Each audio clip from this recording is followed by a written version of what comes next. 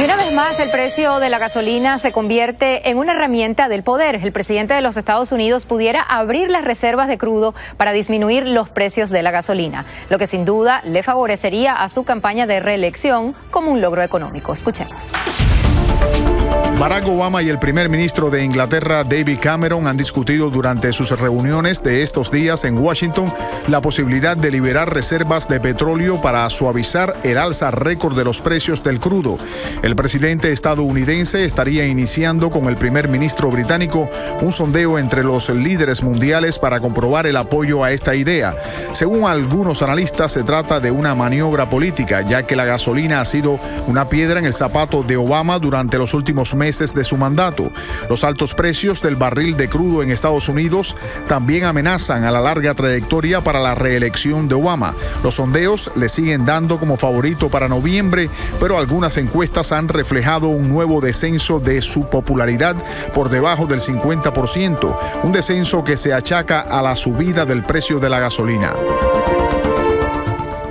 Y escuchemos qué tiene que decirnos el experto petrolero Horacio Medina, que está esta noche aquí con nosotros. Bienvenido, señor Medina. Hola, buenas noches. Mucho gusto de estar nuevamente acá. Gracias. Bueno, veíamos la situación que tiene Obama en las manos y una cosa es tratar de bajar el precio de la gasolina y otra cosa es prever la situación que se avecina para julio con las sanciones con Irán y, el desabastecimiento que puede haber de petróleo. ¿Cuál, ¿Cuál es el objetivo de liberar entonces estas reservas? Bueno, yo diría ciertamente que Obama está muy claro en que un aumento en los precios de la gasolina iría totalmente en contra de su campaña para, la, para la reelección de la presidencia de los Estados Unidos. Y él tiene que evitar a toda costa que eso suceda. Para ello, el factor fundamental es mantener los precios del crudo bajos.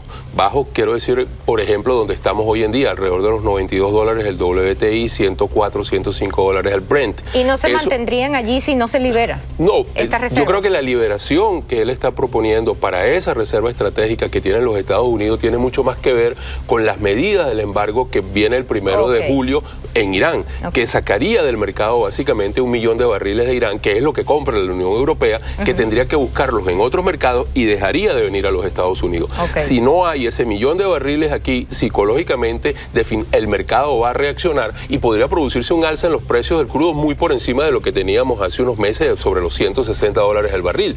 Y eso definitivamente atentaría contra él y los precios de la, de la gasolina irían por encima de los 4 dólares ¿Y esa situación cómo la ve usted? Si, si no se libera estas reservas de petróleo, ¿pudiéramos llegar a esos precios de la gasolina? Si el embargo eh, de la Unión Europea se produce, eso sucederá. Si libera la reserva, contendrá de alguna manera esa posibilidad. Pero liberar la reserva para reducir el precio de la gasolina, eso no es. El precio de la gasolina está relacionado con el precio del crudo. El 70% del costo de la gasolina está relacionada con el precio del crudo. Si el precio del crudo va hacia arriba, la gasolina va a aumentar, con toda seguridad. Y muchas refinerías podrían cerrar porque los márgenes se reducen. Entonces, creo que Obama está jugando adecuadamente previendo que si se toma la decisión del embargo en, para Irán, la Unión Europea va a comprar crudo en Arabia, en Kuwait, en Irak.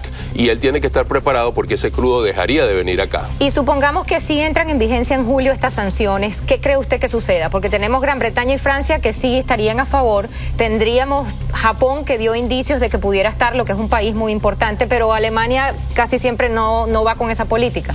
Yo creo que al final, si hay una, hay una posición mayoritaria y los Estados Unidos apoyan, la Unión Europea lo va a hacer, porque creo que la, la, situación con Irán podría complicarse mucho más si Irán llega a tener este, una, bomba, una bomba atómica, una bomba nuclear, hace ese desarrollo. Yo creo que en ese juego están bastante claros y tiene sentido esta presión que se está haciendo en este momento. De modo que yo creo que esta consulta que, que se hace buscando un consenso tiene mucho sentido en dirección a la política que viene a partir del primero de julio o que podría venir. Exacto. Y una última pregunta cortita. Eh, ¿Están los Estados Unidos en buena forma para meterle mano a sus reservas cuando ya Obama lo hizo con 30 millones de, barriles anteriormente? Bueno, la reserva hoy en día, según la Agencia de Energía, está alrededor de los 700 millones de barriles. Estados Unidos consume 9 millones de barriles diarios, de modo que hay suficientes reservas para poderlas poner allí. Y sin querer hacer, hablando de profecías, este, una profecía de esto, yo creo que estaría perfectamente válido para el tiempo que vaya a durar esta medida.